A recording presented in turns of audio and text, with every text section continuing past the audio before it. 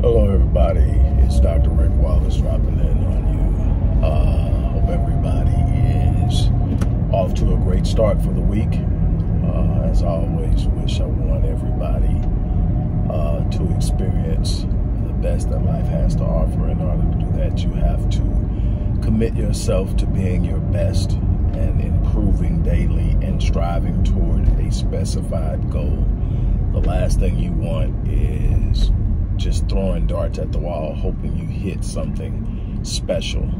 Uh, you need to know what you're aiming at. You need to know what you're going for. You need to know how and what direction you're going to travel, and then you've got to push toward toward it. Uh, I just want to wish you the best. There are two primary things I want to talk to you about today. Before I do so, I need to remind you that we are still in the middle of a fundraiser. So the links that you see that you need to support us, or if you want to support us through the organization's Cash App uh, account, that information is in the description box. Again, nothing happens for free. Nothing happens for free. Hearing about, you know, how awesome the thing, the programs are, hearing about all the things that you, you think positively about me is awesome and great, and I appreciate the acknowledgement, but I'm more focused on getting work done uh, that costs. So that's that. Uh, first thing I want to get out of the way, uh, and, and this is because it's important for a number of different reasons. Number one, I'm on my own personal health journey. Uh, after being in the health industry all my life and letting myself completely go, I mean completely, uh, I got up to at the time of my heart attack and all the way up until last year 250 plus pounds i think uh, when i decided to make uh, a change. I was 258.6 pounds. I'm down to 222 my goal by my birthday which is next monday is to be at 218 so i've got four pounds to go uh, and my ultimate goal is to on my daughter's birthday is when i made that decision uh, to get down. But I want to talk to you about uh, the information that's just been released about the cause of death for uh, Kevin Samuels. Now, those of you who have followed me know that uh, I am not a big fan or was not a big fan of the way Kevin delivered a lot of his content. Uh, but that's on a philosophical and experiential and personal and cultural level.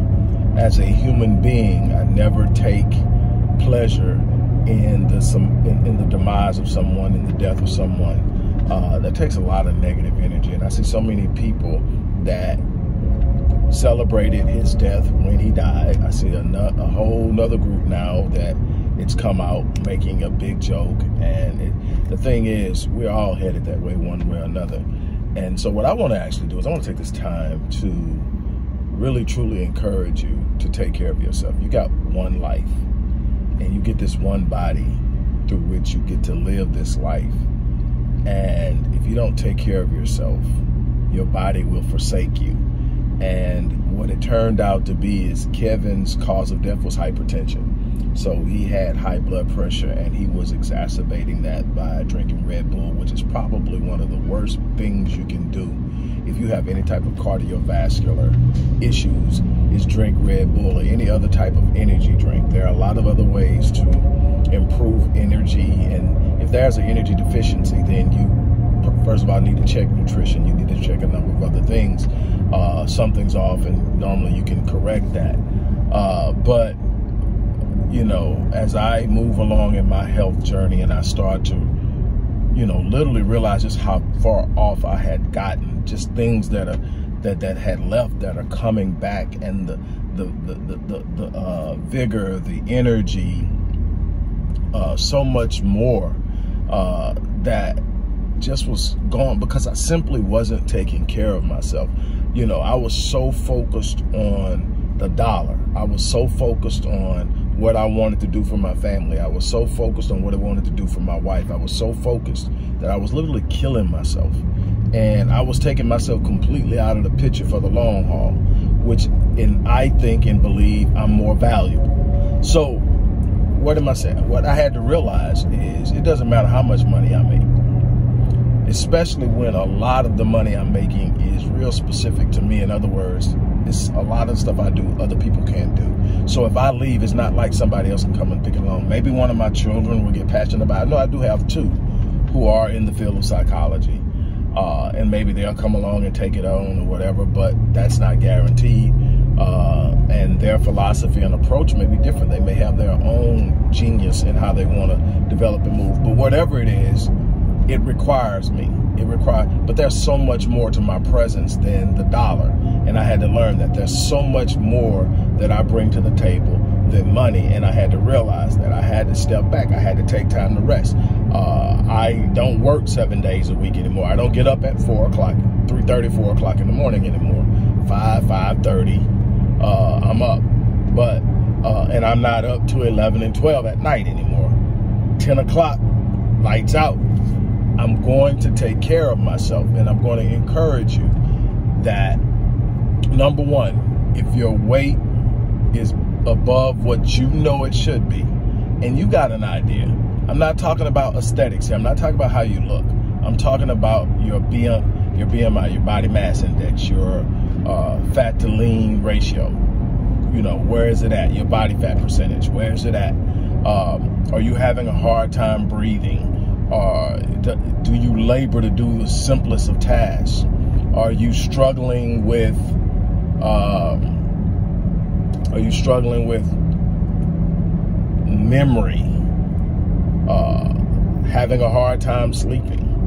All of these things are signs that something's not right. We need to start paying attention to them. Uh, I encourage you, seek the advice of a health uh, professional. Uh, seek the advice of a fitness expert if you want to lose weight. If you want to find resources, uh, visit uh, my site, Master Fitness 21 uh, dot xyz, masterfitness21.xyz, and do you know do your research, do whatever, um, but find somebody, whatever it is. Your your life is so much more important than whatever else you've got going on. You're stressing about stuff, you know, all of this stuff. Stress is a silent killer. Stress, when it is not tamed, becomes chronic stress. Stress triggers the stress response, which is also known as the fight or flight response. When stress triggers that response, it, it, it uh, the brain sends, sends a signal to the adrenal gland to release adrenaline and cortisol in short bursts, it's great if you got to get out of the way of a coming car or, or somebody's chasing you to do harm. It's great for that. A burst of energy, a burst of strength, and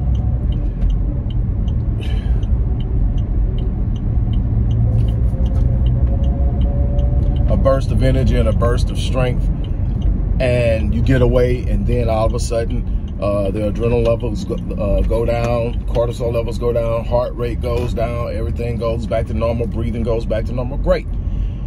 But when you're having chronic stress, that means there is this worry, there's this stress, there's this threat that isn't immediate. It's not going to kill you right now, but you're worried about it. You're giving it energy, and you are constantly triggering that uh, stress response that is releasing these uh, hormones that are, when in your bloodstream long periods of time, extremely detrimental to your health. I have to stop before I get to the gym and pick up something. Uh, but you, uh, what happens is uh, cortisol is horrible for your immune system. It's horrible for your organs. You need to gain an understanding of different approaches and coping mechanisms to deal with stress, a bunch of other things you can do. Uh, there's so much to this that I can't get into it, but I just thought about this dude was 57 years old, looked healthy, but wasn't checking and taking care of himself in a way and didn't know just how dangerous those energy drinks are. You might not have hypertension. You might not even have anything that's significant on a cardiovascular level, but drinking those drinks over a long period of time will create problems. That's something that you need to be aware of. Another thing I want to jump on real quickly is a lot of people have been looking at the series that I'm currently doing that's associated with the book that I'm about to release, The War on Black Wealth, uh, Chasing the American Dream. Uh, and people are talking about, well, with the threat with, with, with, such volatility in the in the economy and there being a threat of the market uh, stock market crashing or the dollar crashing what should we do number one is the thing that I'm going to leave you with today, and I'm going to try to give you a tip every day. The thing I want to give you with today is you got to stop being so consumer minded. You've got to stop thinking that you can buy your way into status, that you can buy your way into power, that, that looking like you have something but not really having it gives you any true access to anything. Power is wealth, the ability to do something independently of anyone else.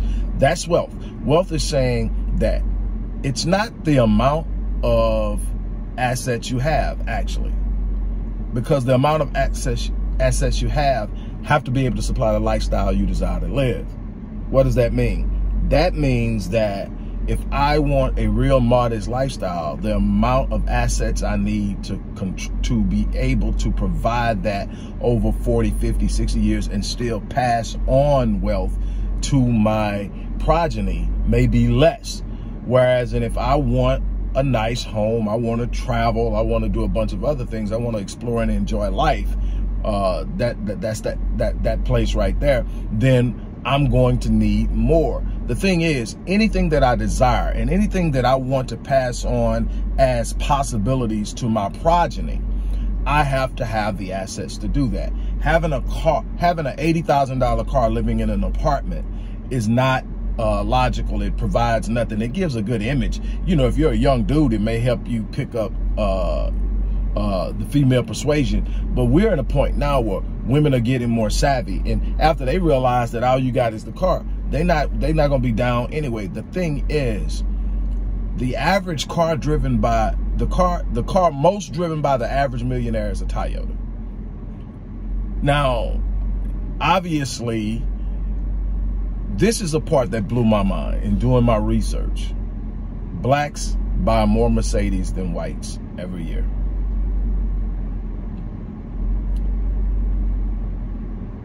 Blacks buy, let me say that again, blacks spend more money in Louis Vuitton than whites do every year. Yet the wealth gap is 177 in median wealth, 177,000 in median wealth for whites and 17,000 in median wealth, household wealth for blacks yet we are outspending them. We are outdebting them because this is a debt-based economy. Almost everybody in America is spending more money than we have. That's why the economy stays afloat because the dollar isn't backed by anything but debt. So we need to spend more money than we have because that gives investors something to buy to underwrite the dollar, and that's debt. That's why your mortgage your mortgage company can sell your your home loan. That's why uh, when you uh, default on a credit uh, obligation, they can sell it to a collection agency even after they've written it off. Why? Because debt has value in a debt-based economy. So what we need to do is we need to stop spending money for the sake of spending. We need to really be aware of what we need versus what we want.